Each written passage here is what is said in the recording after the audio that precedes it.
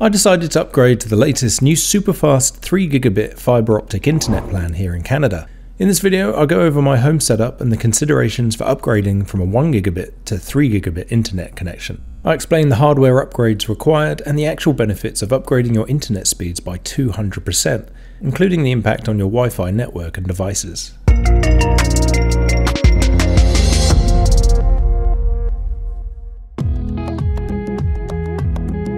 TELUS Communications recently launched their new flagship fiber optic internet service, TELUS PureFibre X Internet 3G.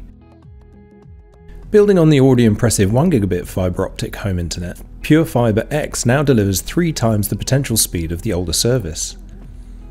This means that using true fiber optic connections from your street junction or neighborhood box to your house, you'll be able to access a theoretical 3 gigabits upload and download speed. However, it's worth noting that the theoretical or marketed speed is never actually what you experience for various reasons. Distance to whatever servers you're trying to connect to, the hardware limitations of your own network, and other traffic will impact your actual internet speed.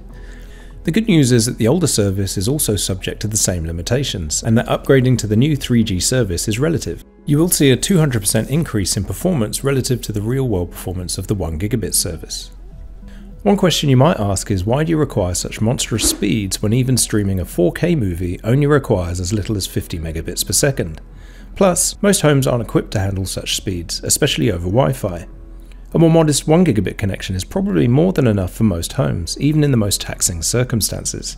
This is all true, but if you continue to watch this video, I'll outline and explain my rationale and my own use which may apply to you too. It includes the increasingly silly number of internet enabled devices we are accumulating as a family, as well as how I use the internet for my work as a content creator on YouTube. But one very salient reason I had was that the new TELUS PureFibre X service is only $20 more expensive a month, even with the discount incentives for new customers. That does include some very important related costs, which I'll explain as I go on. As I mentioned, both as a tech enthusiast and also as a YouTube content creator specializing in tech, I've managed to accumulate a lot of internet enabled devices. Even excluding the devices that the average family probably has, the modern household today will have a lot of technology that requires an internet connection. In my own home, we have over 45 internet enabled devices active at any given time. Collectively, they draw down 1.5 terabytes of data every single month. Both my work and our leisure activities account for a large chunk of the data and bandwidth, but the myriad of other additional devices also contribute to that total. First and foremost amongst those devices is my work and gaming PC, which is the one piece of technology that utilises most of the 3 gigabits per second connection. And I do make use of it on a daily basis. My PC is built on an Asus Prime Z590p motherboard with a 2.5 gigabit Ethernet controller, for the rest of my setup, even the most data hungry devices can only handle a 1 gigabit connection. This includes my 4K Google TV installed in our family room. We also have two other HD Google TVs, two tablets for my kids, two high end mobile phones, and a large collection of smart devices from security cameras to speakers. One critical consideration for making the most of the new 3 gigabit service is that you will need an Ethernet connection to any device that can utilize the bandwidth. At this time, even if you're lucky enough to be using the latest Wi-Fi 6E routers, the maximum theoretical throughput is 1.2 gigabits per second, which is less than half the available speed from the new service. My house is networked with Cat6 Ethernet throughout, thanks to some forward planning when building the property.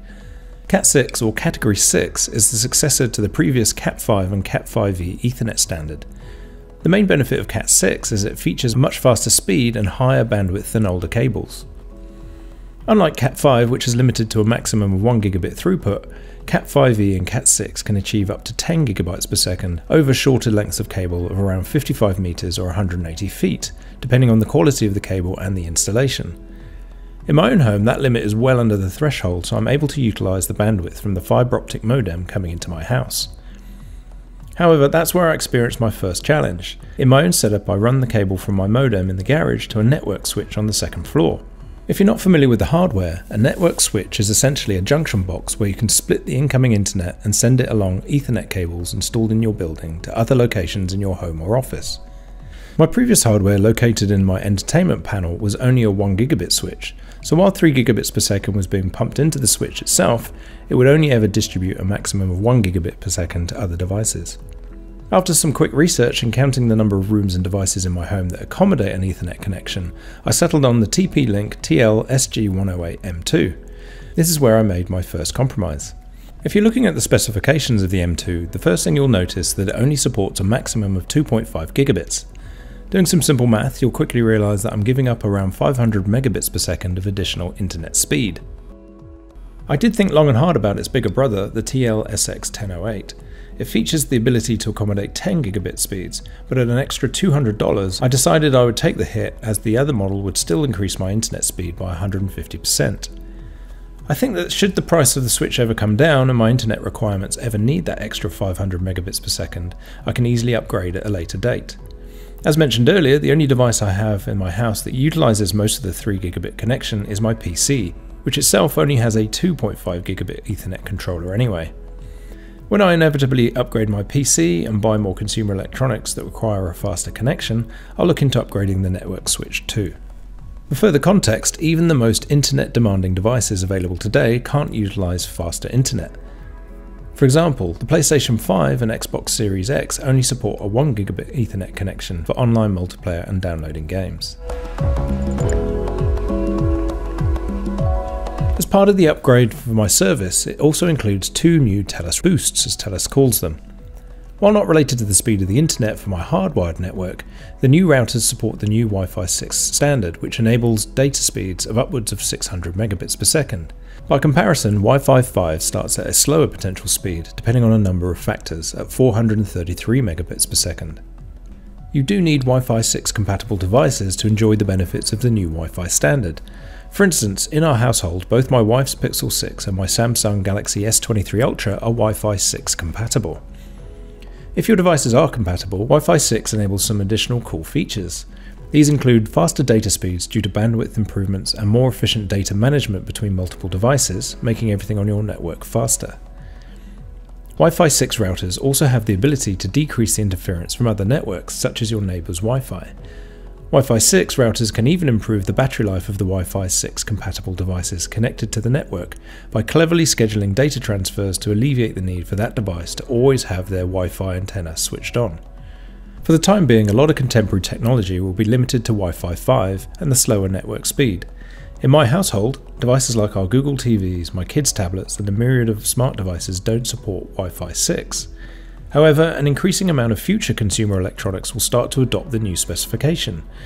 At this time, I'm satisfied that I'm future proofing my home while my wife and I enjoy the benefits of Wi Fi 6 on our phones at the very least. It's worth noting at this time in the video that the provided standard Telus routers do not support Wi Fi 6E, and that's the new 6 GHz band. They use the legacy 2.4 GHz and 5 GHz bands. In a nice turn of events for us, my Telus account included a free Wi-Fi 6E extender. Once installed, you can then connect your Wi-Fi 6E compatible devices, like our phones, to get the additional benefit of the technology. I'm excited by the benefits of 6 GHz. By the nature of being a new frequency, fewer devices use it, and so devices that are compatible will enjoy even better performance because they won't be competing for bandwidth with as many other devices. I tested my Wi-Fi speed on the Wi-Fi 6 5 GHz channel and then the new Wi-Fi 6E 6 GHz channel to see if I could notice a difference in performance alone. And within an optimal range of the extender, it's almost double the speed. There are other third-party 6E router options available like the Google Nest Wi-Fi Pro and Amazon's Eero Pro 6E. I'll have to check out both of those in the coming months to compare.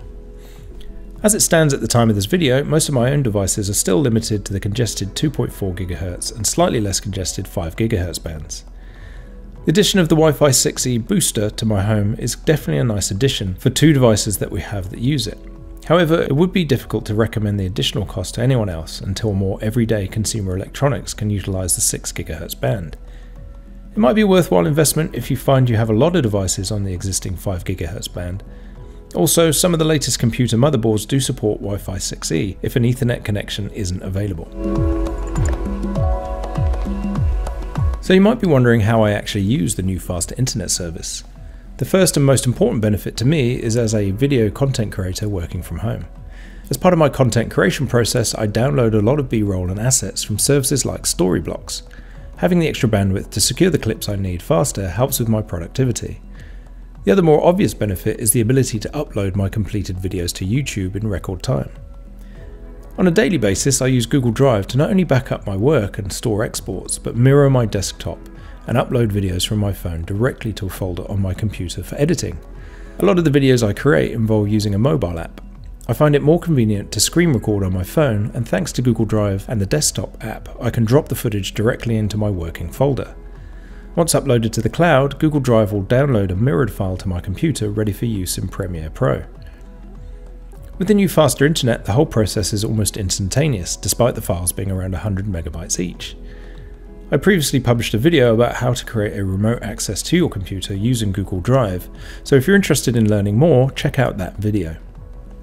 Talking of video production, another ancillary benefit is that updating my Adobe suite of apps is extremely fast each time too. Updating Premiere Pro, Animate, Audition and other apps now takes next to no time. I also work extensively with other Google products. I now have super fast access to my Google Workspace. Plus, I also freelance and manage AdWords campaigns and websites for clients too. The load times for the dashboards and the backend is much faster, saving me time and the clients money. Outside of work, the main benefit includes the fact that the new network speed and bandwidth comfortably accommodates the three Google TVs and two kids' tablets simultaneously streaming content without any delays or buffering, even viewing 4K content is uninterrupted. Perhaps the most satisfying aspect of the new superfast speeds is that even just updating the hardware from my old Google Nest router has had a marked increase on speeds to my existing Google TVs, even the ones using Wi Fi instead of the LAN adapter that I bought to use the Ethernet. Watching YouTube and loading new videos is like switching channels on a cable box. It's instantaneous with no buffering. What's more, other streaming services like Netflix, Crave, Amazon Prime, and Disney Plus all load and run faster, even when viewing 4K content. On my PC, specifically using Ethernet, downloading games from Steam seems to be limited by the speed at which my computer can decompress the incoming data for my M2 drive. One example was that I decided to get back into Cyberpunk 2077, and a 67GB game downloaded in approximately 6 minutes at about peak rate of 190 megabits per second. I have noticed much better connectivity speeds on my other devices. We have a Control 4 entertainment system and the app will download and connect to the equipment much faster now. We also have Lutron lights installed in our house using a Lutron Connect bridge and the Connect app which is also working marginally faster, but less impressively than the Control 4 system. Our home also includes numerous smart speakers, both Google and Amazon Alexa. We also have a smart dishwasher that isn't actually that smart, but that's another video in itself. Plus I've also installed various brands of home security cameras from Google and Wyze. However, where I'm seeing the most improvement is from my Hikvision CCTV system. The cameras around my home all use Ethernet and power over Ethernet connections, feeding into a PVR. Camera feeds load in record time, plus access to the PVR for playback and event reviewing is much faster than it used to be. I'm very pleased with the increased performance of our internet and home network. However, I couldn't recommend upgrading from a 1 gigabit service to a 3 gigabit service for everyone. There are other costs potential users should factor into their decision making, especially if your home network and devices aren't ready for the upgrade. For a start, a 3 gigabit connection without the requisite hardware is a bit pointless. You really need a hardwire solution to channel the extra speed and bandwidth around your home. The current available consumer Wi-Fi hardware will only provide a theoretical maximum 1.2 gigabytes per second for Wi-Fi 6E and that's only for the very latest devices that can use 6E. What's more, a lot of contemporary consumer electronics will use legacy Wi-Fi radios that can't utilize Wi-Fi 6 or Wi-Fi 6E. If you don't already have the necessary Cat6 Ethernet connections in your home, or you don't have the ability to connect your computer directly to a modem, the extra speed and bandwidth will be wasted. However, if you are lucky enough to have the necessary equipment or resources to upgrade, you will probably enjoy all the benefits of the faster internet. For me, it really breaks down into the benefits covered off earlier in this video. But having said that, if I were to revert to an older, slower 1gb connection, the quality of my life wouldn't drastically be impacted. What I would say is that for the sake of $20 more per month, and that I only needed to update my network switch, it was worth it for the extra convenience for me. What's more, my house is now future-proofed for the foreseeable future for more sophisticated electronics. I do have my eye on that 10 gigabit switch to get that extra 500 megabits per second though. Thank you for watching, and as always, please like this video and subscribe to my channel for more videos on the connected home and personal technology.